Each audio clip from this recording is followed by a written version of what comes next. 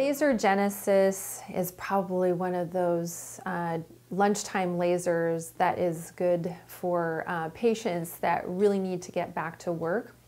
It can actually be helpful for just global facial rejuvenation for people that have global redness and actually for people that have some acne as well because it can target some of that active acne.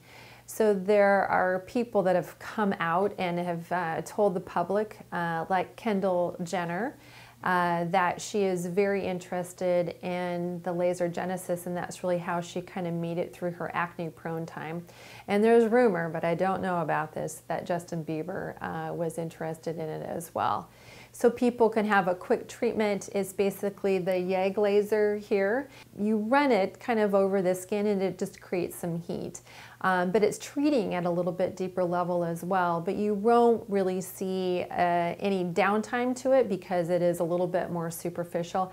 Patients have really liked this one as well. We've seen some really nice results, but anything that really has no downtime probably needs to have multiple treatments, and I think that's true for our patients as well.